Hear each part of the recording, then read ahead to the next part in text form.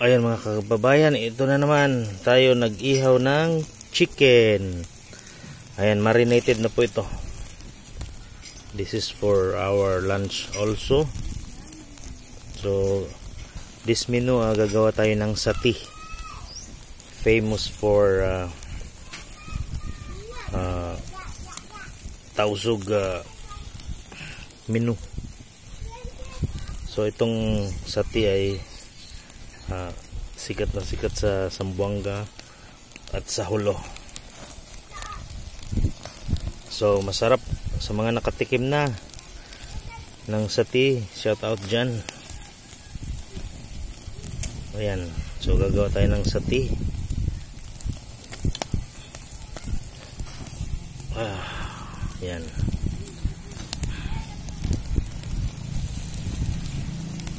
Mm. Sobrang init ngayon mga kababayan.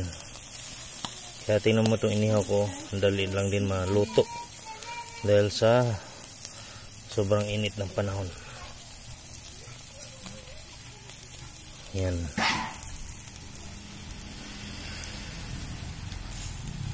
So itong pag marinate ko, simple lang naman nilagyan ko lang ng toyo ng asukal bawang, paminta, at konting uh, kalamansi. Ayan. And of course, yung aking uh, secret res, uh, ingredients. Alam nyo kung ano yun? Of course, yung ginagawa ng mga mami ang pagmamahal.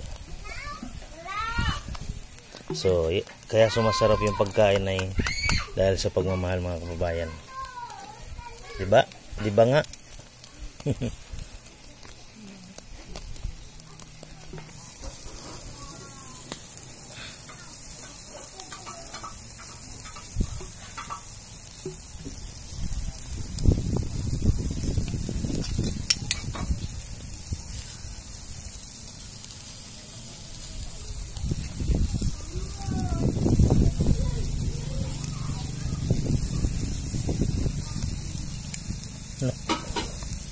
natutong na yung aking pagmamahal. Sobrang init kasi mga kababayan. Mainit na yung panahon mainit pa yung iniihawan. uh,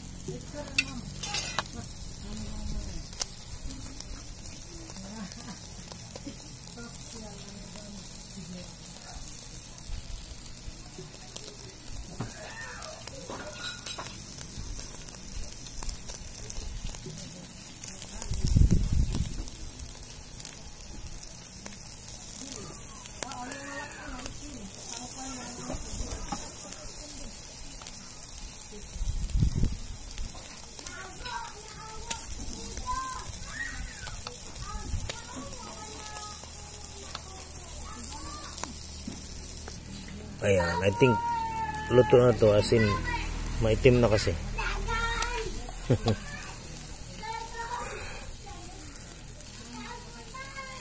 Tsaka ito, luto na to. Ayan. Ganito mag-barbecue sa ba sa probinsya mga kababayan. Ayan, so okay na mga kababayan oh. Okay na. Pwede nang kainin. Motor yan tuloy.